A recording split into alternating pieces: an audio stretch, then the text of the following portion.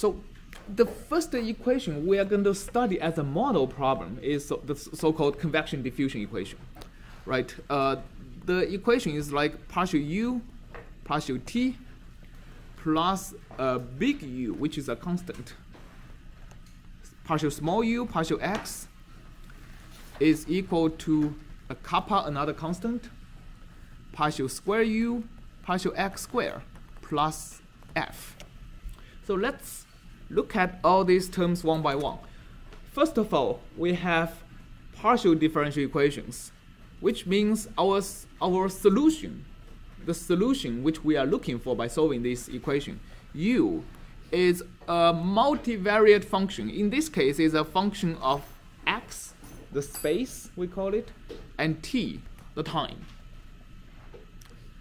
When we are taking partial derivatives, I hope everybody knows par what partial derivatives mean, right? We are fixing one variable and taking derivative with respect to the other variable. I mean, I mean, a lot of people know what that uh, know this definition, but like to truly understand its meaning, sometimes we still get confused. U is our solution. I'm going to say in each different application, U actually means different things. Right, I, am going to go through that one by one. So our solution U is a, fun is a function of space-time, and we have these partial derivatives. So for example, uh, I'm going to give a few examples. Let's start with uh, nuclear engineering, where you'll be solving uh, the, the, for the temperature of, let's say, your water, let's say, because water is uh, often used as a medium to carry the energy starting from the cores where nuclear energy is generated to the to the outside and used as a mechanical energy. Uh, mechanical energy. So so let's say uh, I have the temperature of water. It's a function of space and time, right? It's a function of space because at every point it has a different temperature. A function of time because as time goes, the temperature at every point is also going to change. So in this case, we have the rate of change of the temperature as a function of time. So that rate of change is fixing in space. In, in other words, it's an Eulerian rate of change. Plus u times partial t partial x this is because the water moves around, right?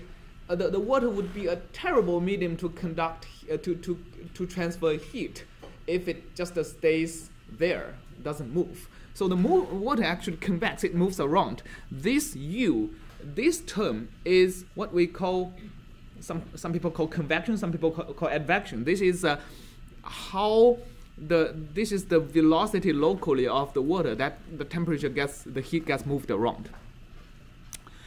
The kappa here is the conduction of heat, right? Partial square t, partial x square. It's a diffusion. It's how heat gets conducted from one place to another.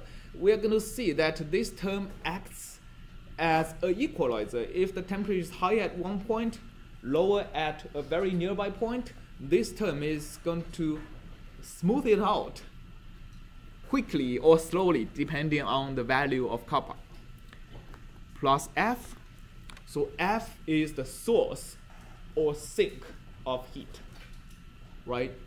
For example f would be positive uh, when you are very close to the core where there may be a lot of radiation uh, that hits whatever uh, that is inside the, the medium. And uh, uh, so this whole thing governs the transfer of heat in nuclear engineering or in some other uh, physics like in modeling climate and weather. The same temperature is going to be satisfying a very similar set of equations. Right? Okay. So this is a this is a heat uh, heat transfer. All right, so let me give another example.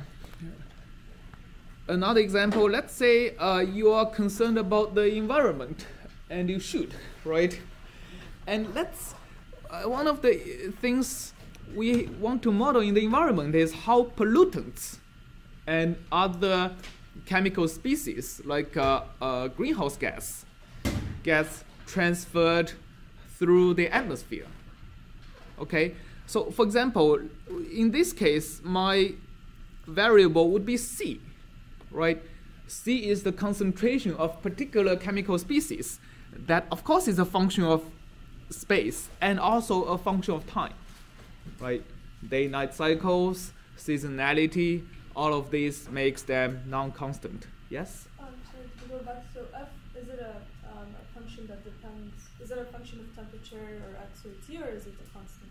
It can be Can be either. anything. It can be either, right? So the the thing that is important is that this term f is not going to be differentiated with respect to either x or t. So that's a we call what we call an algebraic term, right? So these are all differential terms. So f may depend on anything, but in an algebraic way. So for example, it depends on the temperature locally, but doesn't depend on the gradient of temperature. All right. Uh. Okay, so going back to our environmental engineering problem, our C is a function is a is the concentration of a particular chemical species is a function of space-time, and how this concentration changes locally is also affected by the movement of the atmosphere by wind, right? It's also diffused around and uh, uh, by by the diffusion process of molecules, and uh, it is either generated by human or by some natural chemical reactions in the atmosphere. This F can also be negative because there are all kinds of things that takes away chemicals from the atmosphere. For example, if it rains, I mean the rain is going to bring things out of the atmosphere into the ocean or things like that. So this is uh, uh, atmosphere transport. All right. Yes. Oh, is that T then? Yeah, it's actually C there. Thank you. All right. So we are, and we can see we have two different applications looking at exactly the same equation. I mean, just uh, what u you use to uh, you use to represent. And yet, let's give another example that is a little bit different. So, if you are not so concerned about the environment, you may work on petroleum engineering and you may want to say, okay, how much oil can I drive out of a, a reservoir, right? By using water. I mean, one of the surprising things I learned is that if you if you just drill a hole, oil is going to come out, but only like 10% of oil is going to come out. 90% is going to be stuck under the ground. So what people do nowadays is they drill multiple wells. Some of the wells they call production wells. They produce oil. Some of the wells they call injection wells. They actually inject water and some other crazy stuff into these wells to drive more oil out of these production wells.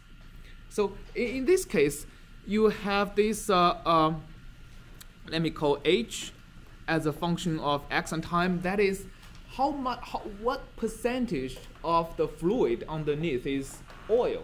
What percentage is actually water or some other things you, you, you use to drive out? So let's say H is the percentage of, uh, uh, of oil, right? Some people also use percentage of oil and percentage of uh, uh, gas being different percentage.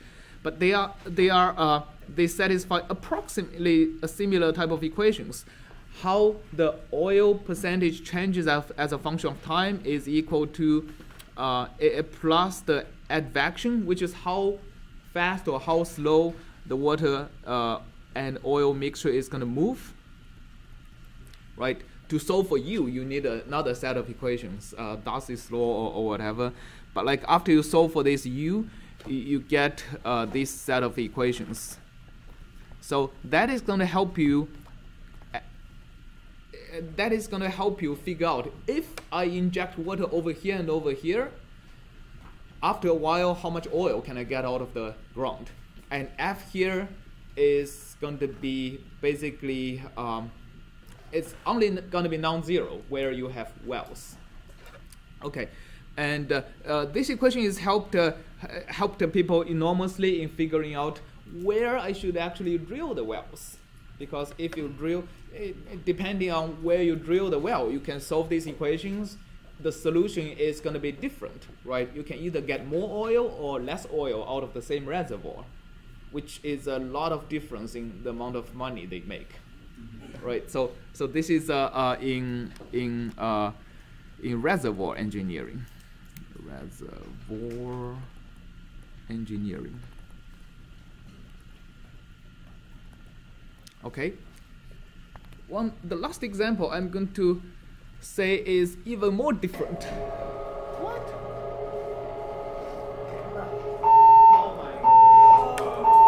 Oh.